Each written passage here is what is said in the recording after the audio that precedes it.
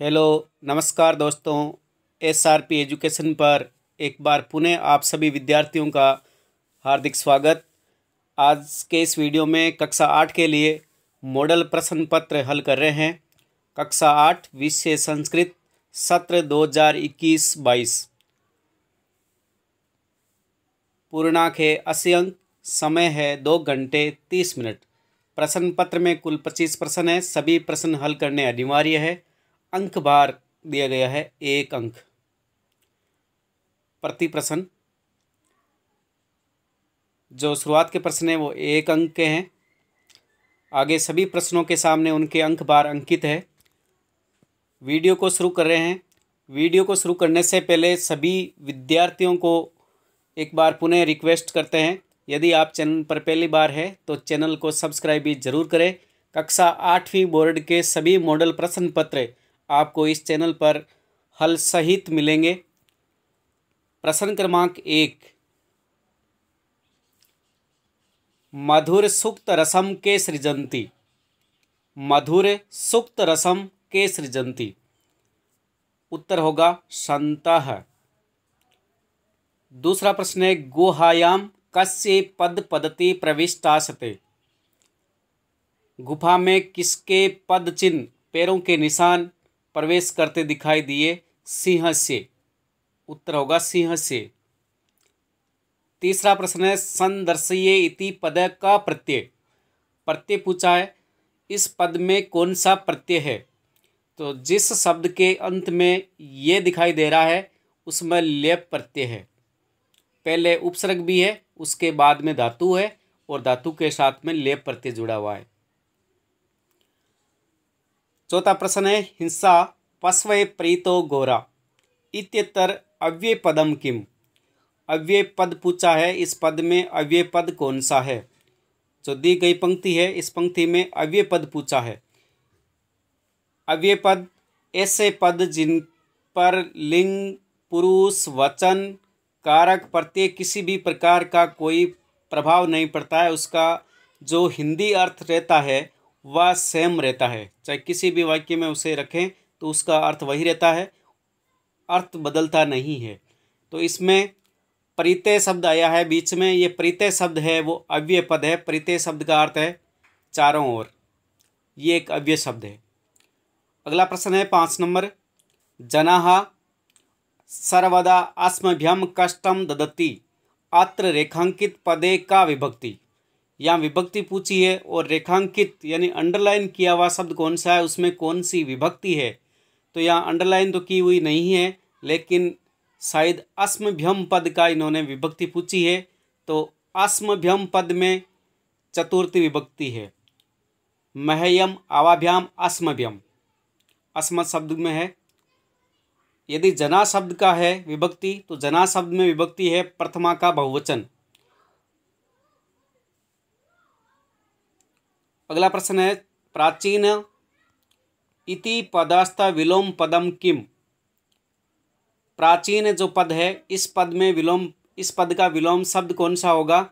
प्राचीन का अर्थ है पुराना। तो इसका विलोम पद होगा नूतन है। सातवां प्रश्न है, गृह सर्वाधिका रम्या मनोरमा चे का भवती? घर में सर्वाधिक रमणीय और सुंदर मनोरम कौन होती है? उत्तर होगा भगिनी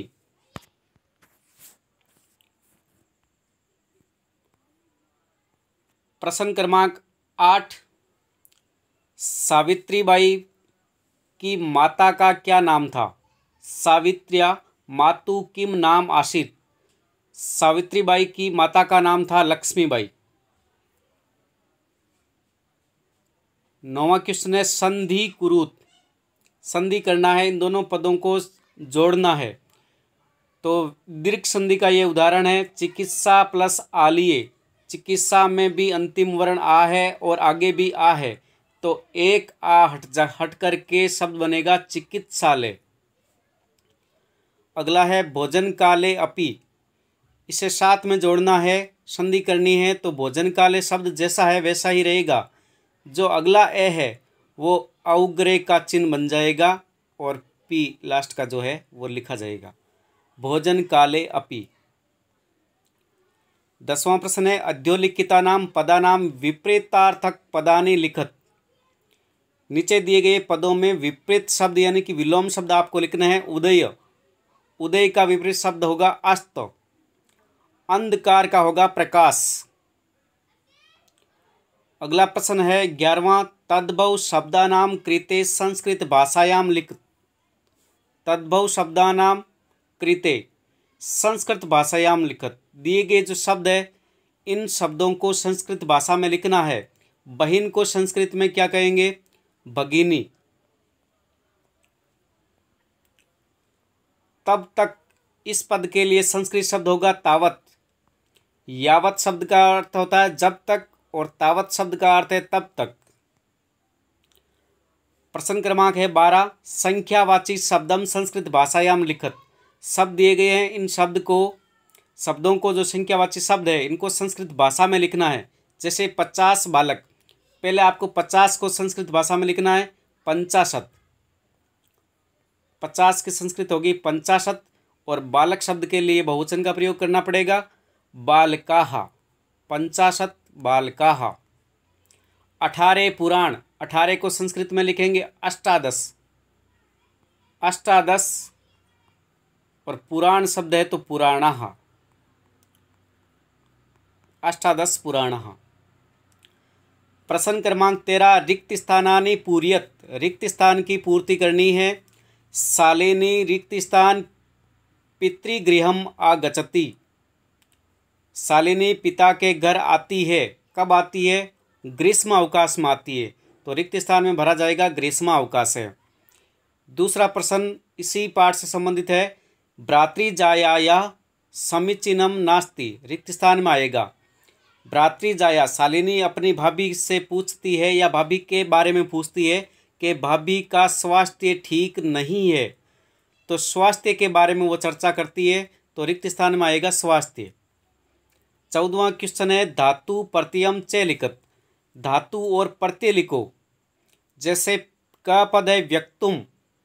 व्यक्तुम में व्यस्त धातु है, साथ में तुमुन प्रत्यय है।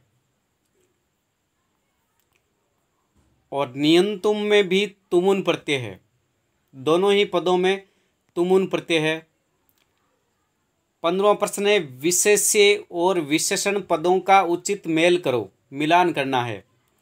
जैसे अयम प्रदेश है संस्कृति विशिष्टायाम। भारत भूमो, महत्वधायिनी संस्कृति, प्राचीन इतिहास है, एक समवाय।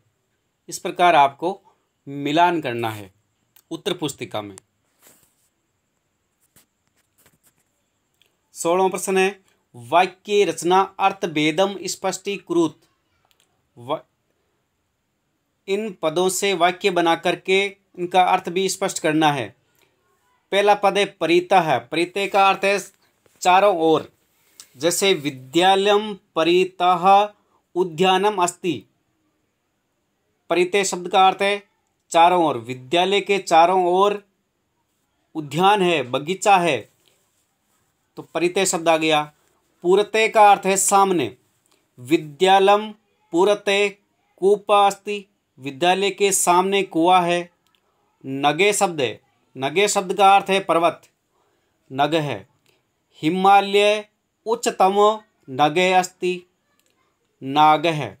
नाग का अर्थ है साम, सरप। नाग गृह है।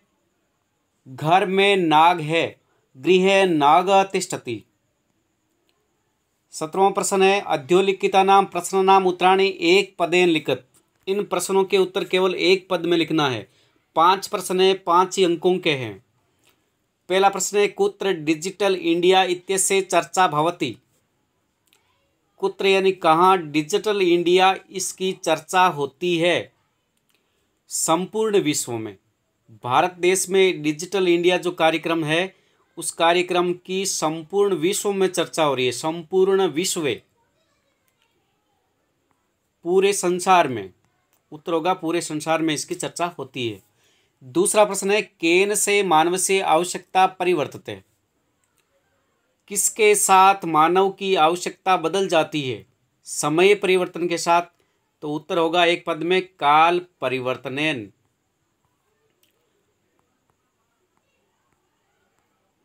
काल परिवर्तनेन। प्रश्न क्रमांक अठारह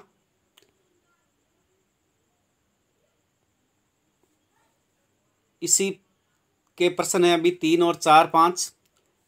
तीन नंबर प्रश्न है, आपने आपने यहाँ पर गलत है, यहाँ है, आपने वस्तु नाम क्रिय समय के साम अनिवार्यता न भविष्यति। बाज़ार में वस्तुओं को खरीदते समय किसकी आवश्यकता, अनिवार्यता नहीं होती है, नहीं होगी।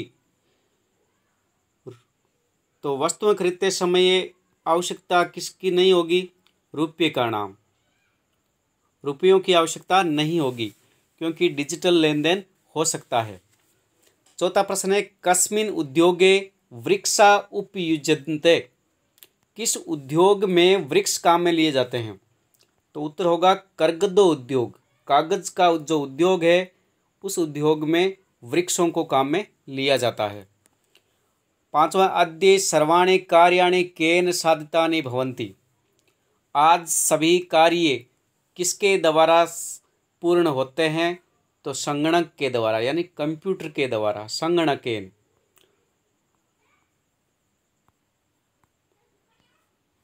अठारहवा प्रश्न है, रेखांकित पदम आदृत्य प्रश्न निर्माणम कुरुत रेखांकित पद को आधार मान करके प्रश्न निर्माण करना है, लेकिन इस मॉडल प्रश्न पत्र में रेखांकित पद दिया नहीं है। यदि इनमें से जैसे राज्य नाम है या किसी पदों के नीचे उचित रेखांकित किया हुआ होता अंडरलाइन की हुई होती तो उस पद को आधार बना करके प्रश्न निर्माण किया जा सकता है। आगे बढ़ते हैं, उन्नीसवां प्रश्न है, अपनी पाठ्य पुस्तक में से कोई दो श्लोक लिखिए जो इस प्रश्न पत्र में नहीं आए हो। ये आपको कंटस्थ करने हैं, दो श्लोक, दो से अधिक ही श्लोक कंटस्थ करने हैं, क्योंकि एक दो श्लोक प्रश्न पत्र में भी आते हैं। यदि प्रश्न पत्र में आए हुए श्लोक आपको नहीं लिखने हैं। बीसवा प्रश्न है कंटके नेव कंटकम। अथवा गृहम शून्यम सुताम सुताम बिना कथासारम हिंदी भाषायाम लिखत। ये आपको दोनों पाठों के, दोनों में से किसी एक पाठ का हिंदी भाषा में सार लिखना है। इक्कीसवां है, मंजुषा में दिए गए पद चुन करके वाक्य लिखो। मंजुषा में दिए गए पद है पर्यावरणम प्रदूषणम धूमम मुंचती वाहनानाम वायुमंडलम जीवनम असंतुलनम इन पदों को आधार बना करके आपको वाक्य की रचना करनी है जैसे पर्यावरणम अद्य पर्यावरणम निर्मलम नास्ति स्वच्छ नहीं है अद्य पर्यावरणम प्रदूषणम अस्ति धूमम मुंचती तो इस पद का हो जाएगा वाहन अनंत वाहना धूमम मुंचती और वाहना नाम तो अनंता वाहना पंक्त्या धावंती। वायुमंडलम, अध्ये वायु, वायुमंडलम न ही निर्मलम। और जीवनम पद का आवश्यकता है, जीवनम दुर्वाहम अस्ति, जीवन कठिन है। और जीवनम असंतुलनम अस्ति। किसी प्रकार आप वाक्य चुन करके लिख सकते हैं। बाईसवां प्रश्न है अद्योलिके श्लोक से हिंदी भाषायाम भावार्थ लिख। हिंदी भाषा में भावार्थ लिखना है तो पहला है अभिवादनशील से नित्यम वर्धोपसेविन चतवारी तस्य वर्धनते, आयु विद्या यशो बलम। जो नित्य, वृद्ध या बुज़ुर्ग, गुरुजन माता पिता इन सभी का अभिवादन करता है, उन, उनके चार चारों में वृद्धि होती है। चार क्या क्या चीज़ें हैं? एक आयु में वृद्धि होती है, विद्या में वृद्धि होती है, यश में वृद्धि होती है और बल में वृद्धि होती है। अगला प्रश्न ले रहे हैं, तेईसवां प्रश्न क्रमांक।